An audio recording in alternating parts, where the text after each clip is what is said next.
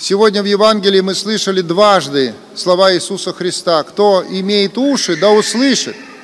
То есть, кто способен слышать, послушайте и сделайте правильный вывод.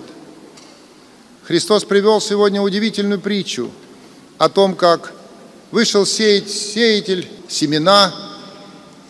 Одно упало на дорогу, прилетели птицы и поклевали то, другое упало на каменистую почву.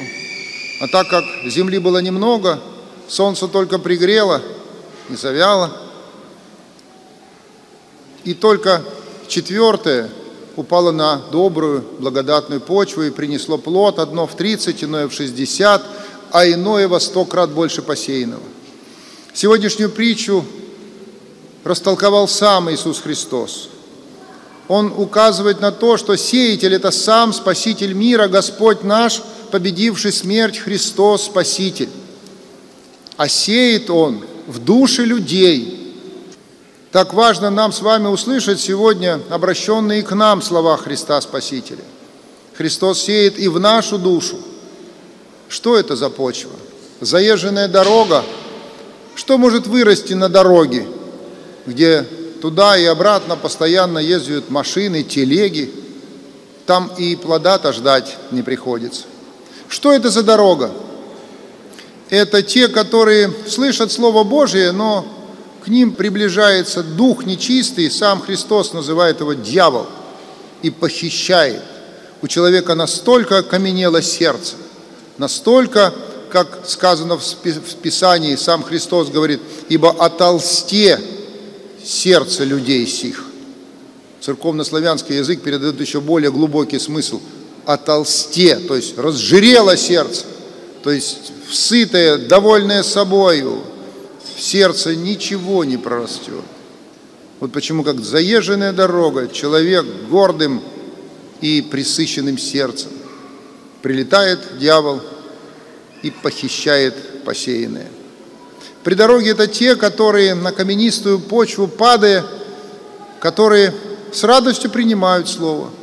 Но как только гонение или скорби, притеснение, тут же легко от евангельского слова в душе своей посеянного они отрекаются и говорят, да будем жить как все. Ну что, мы хуже других. И сколько таких людей живут, а как мы, как все. Ну, все не ходят в храм, ну и мы не пойдем. Все ходят по магазинам, и мы пойдем. Все ходят куда хотят, и мы будем ходить. Зачем нам напрягаться? Зачем подниматься? Зачем идти в церковь? Это можно выспаться, в конце концов, выходной. Оказывается, христиане живут для другого, потому что вырастить урожай – это всегда труд. Вот так, дорогие братья и сестры, над зерном, которое человек получает от Господа, он должен трудиться сам. Зерно – это слово евангельское.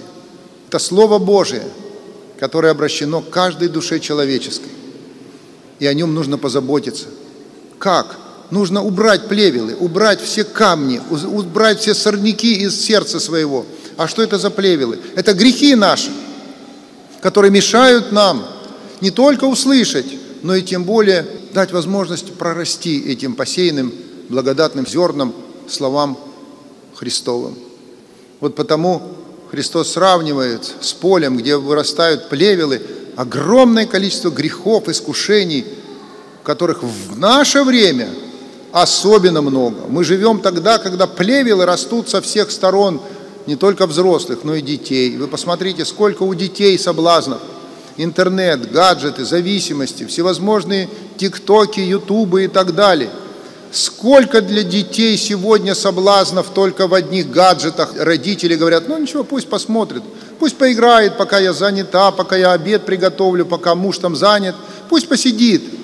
И они заражаются, то есть в их чистой душе, как в некогда, не на поле, а в такой молодой еще нетронутой грядочке, уже посевает дьявол свои плевелы. Еще и зерна-то не посеяны, а плевелы уже растут – вот потому правильно поступают те родители, которые с юных лет уже начинают детям читать Слово Божие, детскую Библию, на сон, поразмышляют, поспрашивают друг у друга. Федор Михайлович Достоевский вспоминал, что он знал основные притчи Евангелия уже к десяти годам. Смотрите, как отдыхали русские люди. Собирались за столом, поужинали, а потом почитали Евангелие, поразмышляли о нем. О чем сегодня размышляют в современных семьях? У телевизора? Или каждый потом разойдется к своему телефону? Что общего сегодня в современной семье, даже христиан, я уже не беру за некрещенных? Вот сколько плевелов проросло вокруг нас, а мы как бы их и не замечаем. Вот и бывает это семя, которое посеяно в нас – бесплодным. И лишь последние, которые потрудились, и кто имеет хотя бы дачный участок, знает, с чего надо начинать сеять, с того, что убрать все поле, прорвать сорняки, а может быть даже и руки в кровь от этих колючек от всего, да на коленочках еще там надо кое-что повыдергать.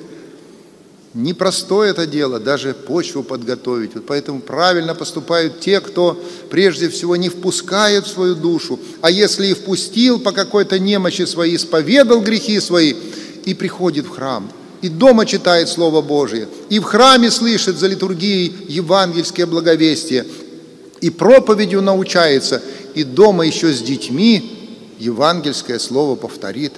Раньше был такой обычай, шли э, из церкви папа с мамой и малыш рядом.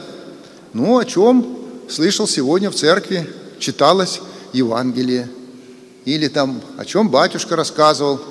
Ну-ка, давай по дороге идем, вспомним. О чем говорилось? О плевелах. Молодец. Вот давай еще по пути. Хорошо слушал. Мороженое тебе купим. День сегодня не постный. Поощряли. А не родивых. А я не слушал, я пробегал. А ну вот никакого тебе мороженого. Никакого тебе поощрения. Вот так врачевали, так вот пытались взрастить, то есть прорвать сорняки с души маленькой грядочки. А если не прорвем, то эта грядочка засоряется плевелами, потом по ней ходят люди, потом поедут телеги, машины. Вот тебе уже и не грядочка, и не земля благодатная, а заезженная дорога. Откуда эта твердость в сердце – от того, что родители с юности не посевали в душу маленьких детей семена, то есть это зерна евангельской истины. Потому что те, которые в детстве получили их, они потом и во взрослой жизни вспоминают, как Достоевский, эти удивительные минуты, когда вместе, всей семьей читали за столом Евангелие. Вот я хочу пожелать вам, дорогие братья и сестры, чтобы каждый из нас сегодня посмотрел на свою жизнь и, наконец, понял из сегодняшнего благовестия Христова, что только последние, те, которые работают над полем своей души, которые исторгают плевелы, сорняки, грязь, грехи свои на исповеди, стараются помогать вырасти этим посеянным зерном евангельской истины, вот только те спасаются. А те, которые слышат и принимают, но жить по ним не хотят, прилетают птицы, и бывает то семя попрано или засохнет, или тем более пропадет среди заросших сорняков. Вот на что обращает сегодня наше внимание с вами Христос. Давайте же и мы с вами постараемся вспахать свою душу покаянием – следить за тем, чтобы ничего туда нечистое не входило. Если вдруг увидим или услышим, или прочитаем, что даже отбросить, потому что даже читать против веры, против Христа, против нашей церкви, ничего даже читать не советуют наши святые подвижники. Особенно на это обращал внимание святитель Феофан Затворник. Он говорил, как дым наполняет человеческое сознание, когда он окажется среди дыма – он помрачается, он дышит плохо, он понимает плохо. Вот так люди, которые начитались, а сколько сегодня так удобно в смартфоне начитаться такого, что как дым помрачает твой разум. Увидели, не читайте, читайте только хорошее, смотрите только доброе и изучайте только полезное, от остального удаляйтесь, как от этого ядовитого дыма, и особенно удаляйте от этого дыма своих детей, потому что если они задохнутся – то и слышать перестанут. Вот почему Христос дважды говорит, кто имеет уши, да слышит. Кто способен слышать, пусть услышит эти простые Христовы наставления.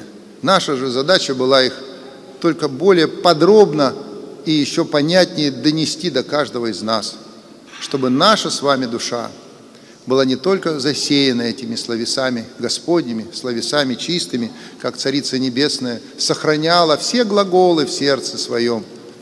Вот так и мы должны всякое слово, услышанное в Евангелии, хранить в сердце своем и стараться, чтобы оно по милости Божьей приносило свои плоды.